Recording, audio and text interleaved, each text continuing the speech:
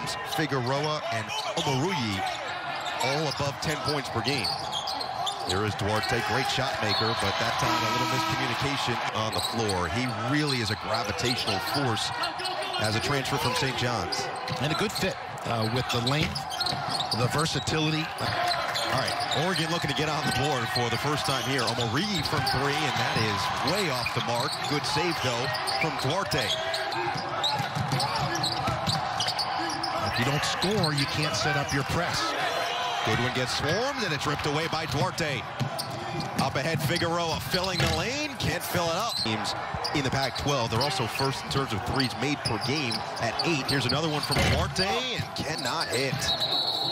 Alignments, combinations of players, uh, motivational methods, something to kind of snap them out of uh, that invasion of the body snatchers. And maybe it's Chris Duarte uh, taking over.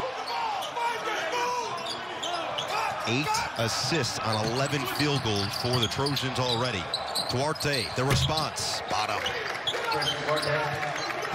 Of the arc on that shot. Duarte, can he put his team on his back? We've seen it in the past. We've seen him just shoulder the scoring load, and Duarte starting to feel it from downtown himself. Yeah, we talked about not only shooting the ball. And as mentioned earlier, when he scores in double figures, USC is 15 and 2 on the season. Duarte taking over, can't get the bounce, rebound inside, roll with Mobley. I like the aggressive double, but they let him out of it. Forces a turnover, though. Aggressive defense here by the Ducks. Numbers the other way. Guys have really utilized that transfer market to grab talent and integrate them pretty seamlessly into the, the lineup. Similar LJ Figueroa, a great example with a three ball. As we see USC break the full court press, going to launch one.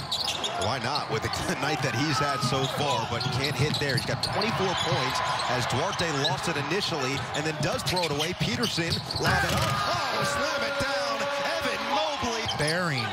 Evan Mobley. Bearing on the court, just a cool customer and gifted in terms of the ease that he plays the game with. Figueroa, another three ball, has seven. His energy can change a game.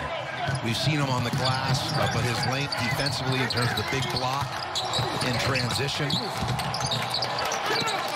Good change of pace, not to be the master of the obvious. Duarte, good patience, good looking stroke. Yeah, took his time. Size advantage at six foot one, but Terry at just six foot 165 as the freshman got taken to school. Eaddy short, and the rebound right to Duarte. It's remaining. Yeah, the goal here is to go on a run and get it under double digits. No easy task. But the next time out, that's the way to get it started with the three ball. Trap, you've got four players, or the equivalent of, on one player. Anderson trying to turn the corner, and he is fouled as he crosses midcourt. As they continue to hang around and have an opportunity to cut into that deficit.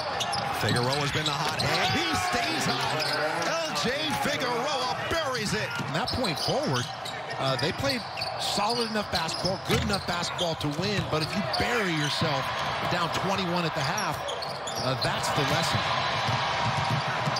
Duarte on the leak out, and they prove once again why they were on such a roll heading into this weekend. Now 12 and 3 coming into this game. They will be now 13 and 3 in Pac-12 play, 19 and 4 overall, and USC wire to wire with a 72-58 victory.